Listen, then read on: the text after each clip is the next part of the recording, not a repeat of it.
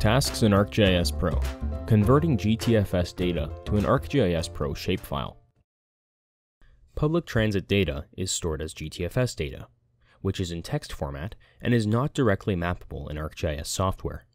If you wish to map transit data such as bus routes, you can convert these files to ArcGIS shapefile features.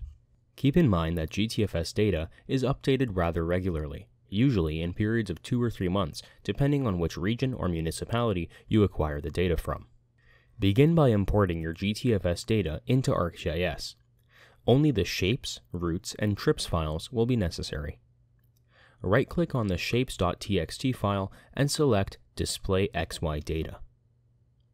Ensure that latitude is set to the Y variable and longitude is set to the X variable. Select Run. A point data layer will generate. Right-click on this layer and hover over Data, then select Export Features. Name your new shapefile Shapes and select Run. Select Analysis and search for the Points to Line tool in the Geoprocessing pane. Under Input Features, select Shapes. Call the Output feature class Shapes underscore Polyline. The line field should be Shape ID. The sort field should be Shape underscore PT underscore sequence. Your point-based shapefile will be converted into lines and added to your table of contents. You may now remove shapes.shp. Add trips.txt and routes.txt to your table of contents.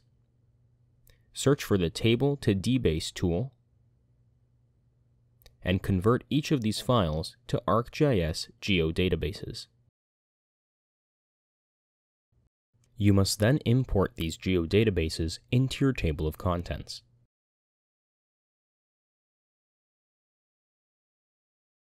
Right-click on trips underscore txt and hover over Joins and Relates. Select Add Join. Join the trips txt file to the routes txt file based on the route ID field.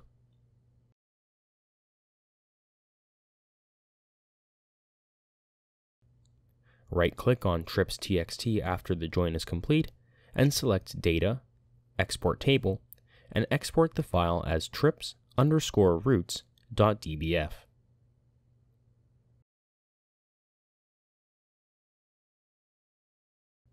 Right-click on Shapes underscore Polyline and open the Attribute table.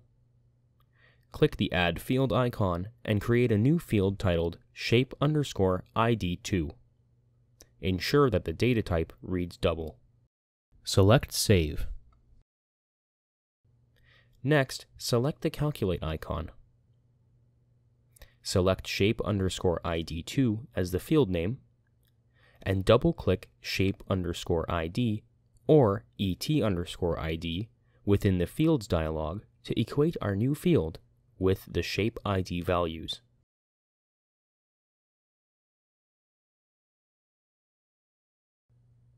Right-click on Shapes underscore Polyline and create a new join. Join this file to trips underscore routes based on the field Shape ID 2 and Shape ID.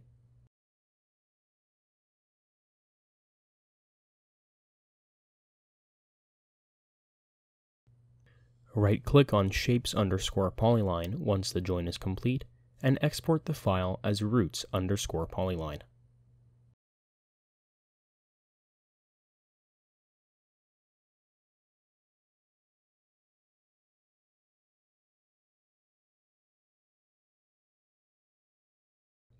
select Analysis, and search for the Dissolve tool. Under Input Features, select Routes underscore Polyline. Provide a name for the new dissolved feature, perhaps Routes underscore Dissolve, and select Route ID as the Dissolve field.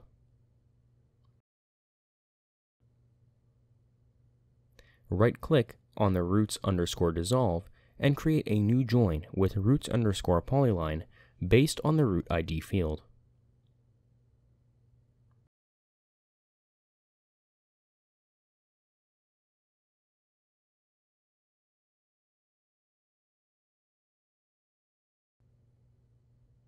Once the join is complete, right-click on routes underscore dissolve and export the file as transit underscore lines.